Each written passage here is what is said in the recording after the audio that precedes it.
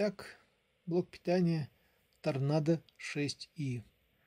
6 ампер, 30 вольт, выключатель с подсветкой, регулятор плавный выходного напряжения и тумблер, который помогает запустить бормашину либо по часовой стрелке, либо против с нулевым вариантом. Теперь на корпусе сзади еще один разъем, тоже для подключения бормашин серии Марафон, любых бормашин, у которых первый и третий выводы задействованы. К этому блок питанию хорошо подходит бормашина B30. Она предназначена для камнерезных и ювелирных работ. Спереди цанги, комплект от где-то 0,5 до 3,5 миллиметров цанги. Теперь разъем для подключения этой бормашины с фиксатором.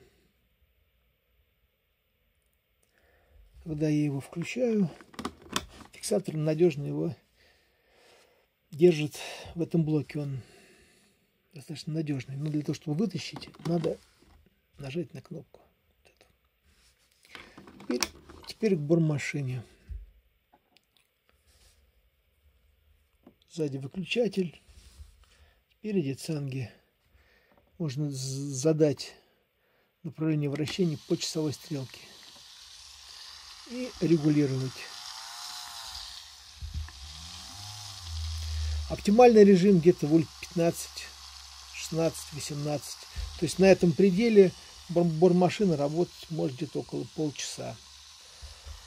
На верхнем пределе она будет работать где-нибудь минут 10 нагреется. Ну, в принципе, корпус металлический полностью. Нагрев на нее влияет, но не совсем. Но оптимальный режим где-то вольт 15-20. Теперь немножечко пробор машину. Спереди цанги. Таким образом можно их освободить, нажав на кнопку стопор, застопорить ось вал, вытащить цангу. Можно ее вставить в набор, колпачок поставить рядом. И теперь я вам хочу показать устройство этого шпинделя. То есть колпачок из нержавейки легко скручивается.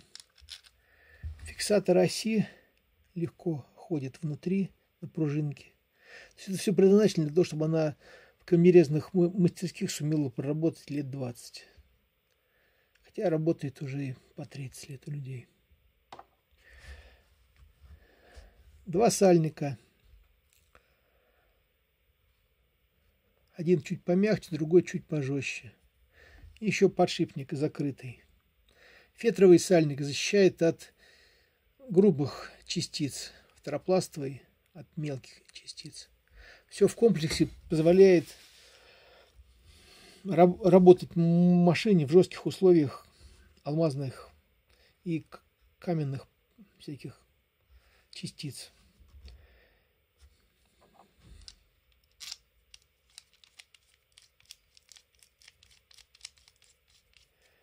Теперь о смене шпинделей.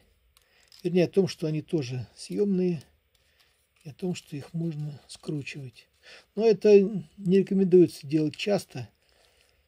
Ну, это если надо будет подшипник поменять, может, лет через 10. Тогда скручивайте его.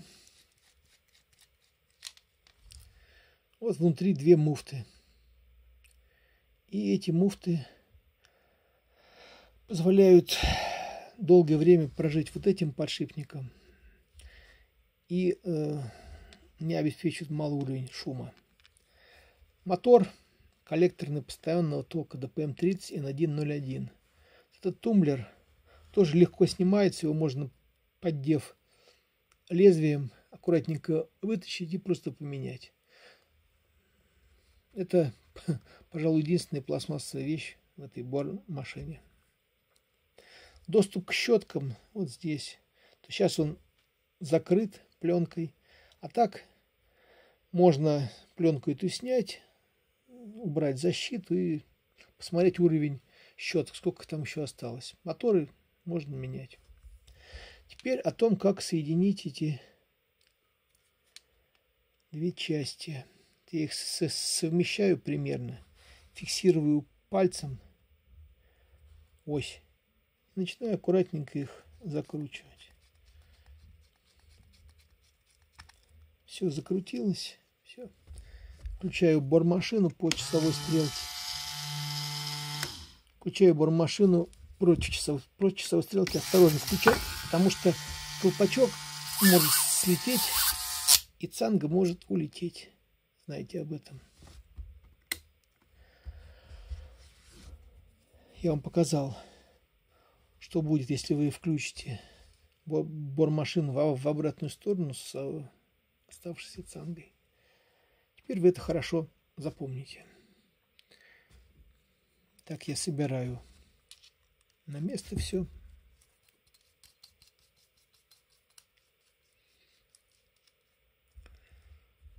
Показ бормашины B30 завершен.